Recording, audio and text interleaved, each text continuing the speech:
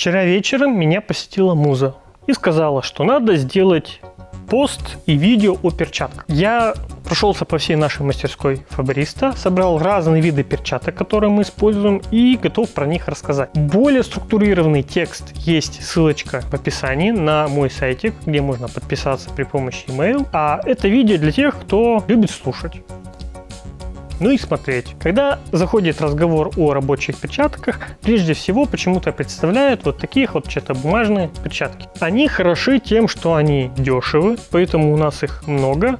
Но мое такое мнение, я боюсь, что меня закидают какашками, что это перчатки для неквалифицированной работы.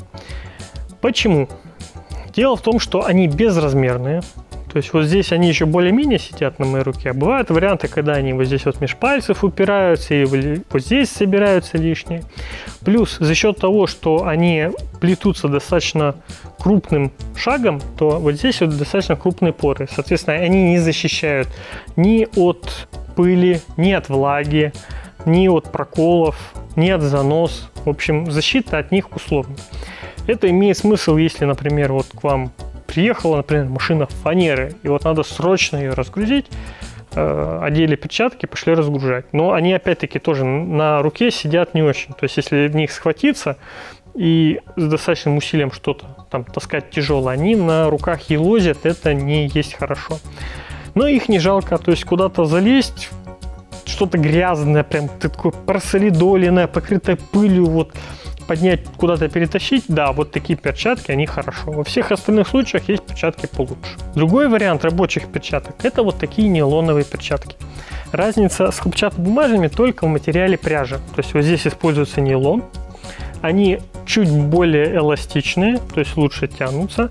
Но в остальном, ну вот на каких инопланетян они сделаны? Я не знаю, у меня может быть рука какая-то диспропорциональная. Вот про то, что я говорил. То есть вот здесь они не доходят, а здесь даже вот если я натяну, даже они вот упрутся, то есть вот здесь вот мизинец хорошо оделся, а вот указательный палец, вот здесь что-то лишнее собирается. Соответственно, при мелкой работе вот это все будет собираться и мешаться. В остальном чувствительность них выше. То есть в них можно какую-то более тонкую работу выполнять. И, в принципе, на этом тоже преимущество заканчивается. В отличие от хлопчатобумажных, если мы будем с ними работать, например, с болгаркой, с искрами, это все дело прожигается. Ну и плюс от пыли они тоже не защищают. Наиболее универсальными перчатками, то есть если у вас есть, вас отправляют на необитаемый остров и говорят, вот возьми какие-то предметы и надо вам сделать, ну, взять перчатки, которые бы подходили на все случаи жизни, это вот такие обливные перчатки. Чем они хороши? Они не пропускают воду. Ну, если мы говорим о полностью обливных, они бывают двух вариантов. Вот обливные полностью, как здесь, и с тыльной стороны ладони, и с лицевой стороны ладони. А бывают э, частично обливные, то есть ладошка, пальцы облиты, а с обратной стороны ткань. Значит, чем они хороши? Они не пропускают воду, они теплоизолируют, то есть в них можно спокойно хвататься за что-то не сильно горячее, чтобы вот этот материал не плавился, но, например, в них можно спокойно вытаскивать горячие детали из специальной моечной машины.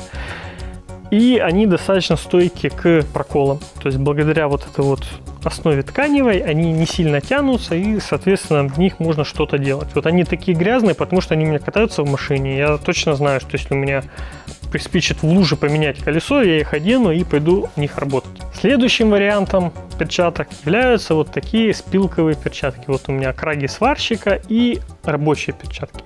Они отличаются тем, что рабочие перчатки, они сшиты в размер, хорошо сидят, а краги сварщика, они сделаны большими, чтобы их можно было прям одевать.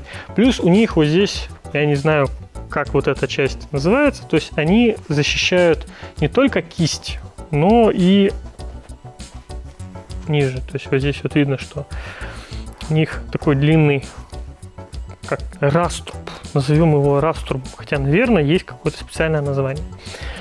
Кстати говоря, перчатки для работы с колючими растениями у них точно такой же длинный раструб. Спилковые перчатки изготавливаются из спилка. Это такой слой под кожей из соединительной ткани. Я думаю, в комментариях есть у меня веганы, И мне хочется спросить, ребята, а есть ли веганский аналог не хуже спилковых перчаток? Они очень стойкие, то есть это перчатки, в которых можно спокойно хвататься за что-то горячее, за что-то с острыми краями. Они достаточно стойкие к проколам.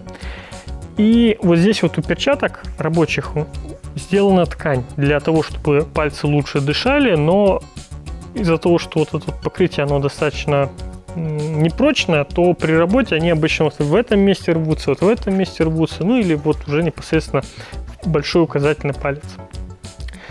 Это очень хорошие перчатки для работы с металлом и для работы с чем-то, что колючий.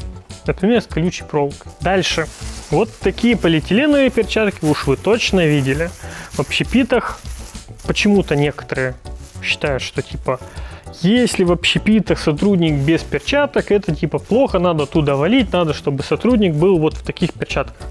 Вот я хочу сказать тем, кто так считает, погуглите, посмотрите, что такое перчаточный сок. Я лучше буду в общепите, где человек регулярно моет руки, и чистыми руками касается еды, чем касается вот в таких перчатках, потому что в них рука преет, а, пот в перемешку с частичками кожи, с бактериями, в общем, ну его нафиг. Лучше вот в общепите голые руки, помытые голые руки с подстриженными ногтями. Значит, зачем нашей мастерской такие одноразовые полиэтиленовые перчатки?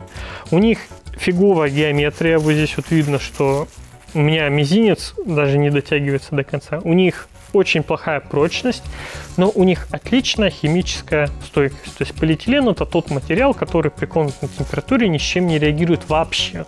То есть можно спокойно в них, ну лучше один слой, наверное, лучше два слоя или три слоя, но в них можно спокойно работать, например, с дихлорометаном, смывкой для краски, и они не будут расползаться, как, например, латексные перчатки. Также они одноразовые, то есть если нужно поработать с каким-нибудь дерьмом, которое не отмывается, ну, например, силикон, вот его, если вы в нем извозюкались, его смыть чем-то затруднительно. С силиконами, со смолой, с герметиками, с клеями, вот там, где шибко точность не нужна, вот такие перчатки очень даже помогают. Испачкали, стянули, выбросили. Дальше. Латексные перчатки. Вы можете обратить внимание и увидеть то, что перчаточки конкретно под мой размер рук. Соответственно, я их держу у себя и никому их не даю. Вот такие латексные перчатки вы можете увидеть в любом хозяйственном магазине. То есть их достаточно много, разных, под разные размеры. Э, в чем преимущество латексных рабочих перчаток? То, что они очень хорошо тянутся.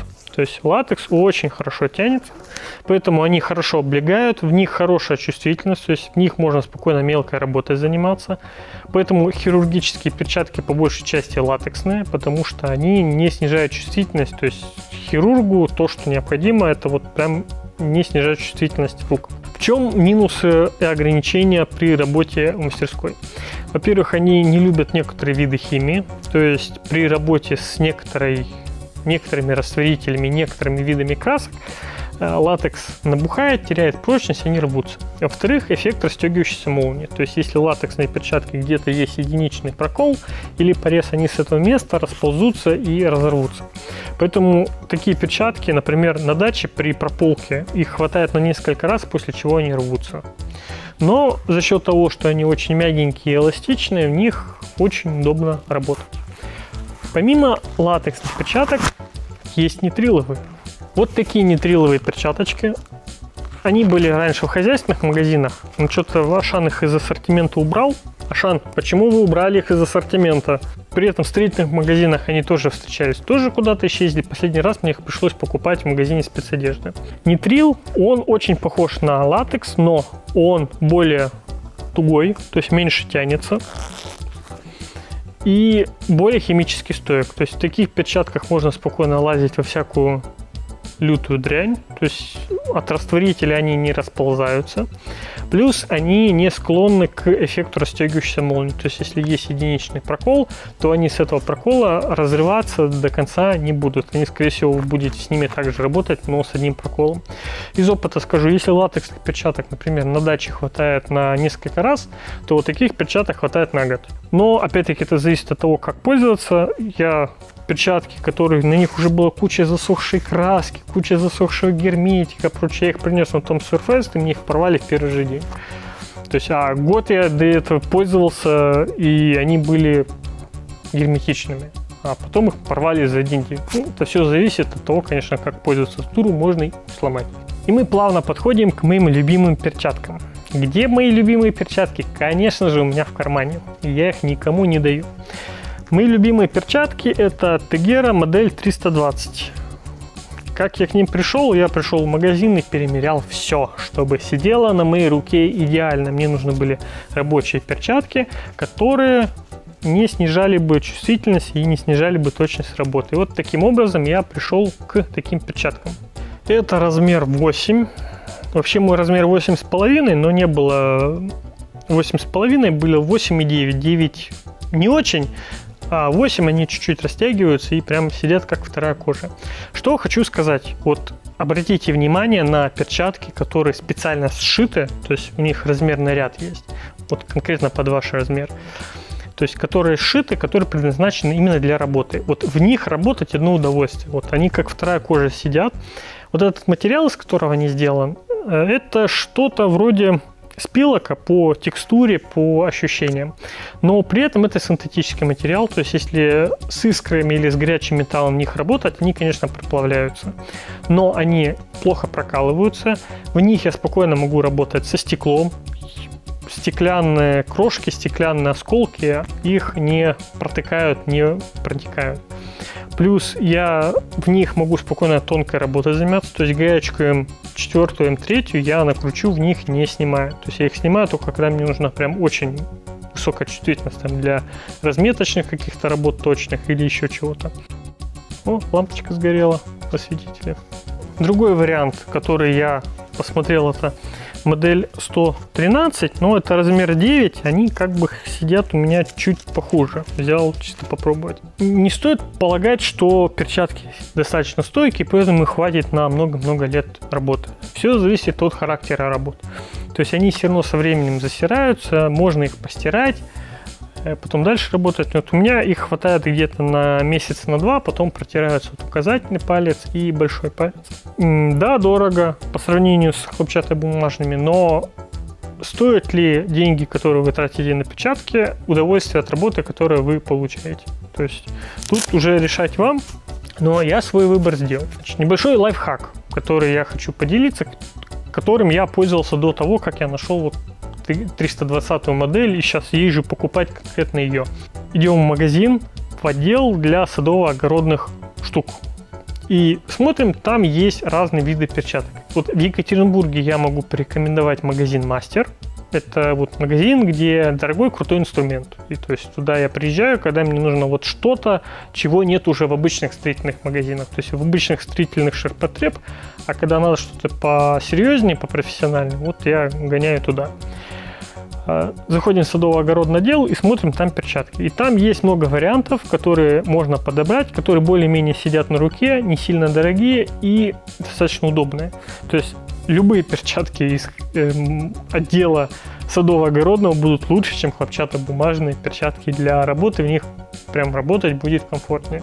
В описании есть ссылка на мой сайт, где есть пост более структурированный, я не упомянул многие виды перчаток, я не упомянул кольчужные перчатки, брезентовые перчатки, другие виды перчаток. Скорее всего, они будут в текстовом виде поста, но вот у меня их просто не на чем показать, потому что я вот ходил по мастерской и со всех углов собирал разные виды перчаток, чтобы показать.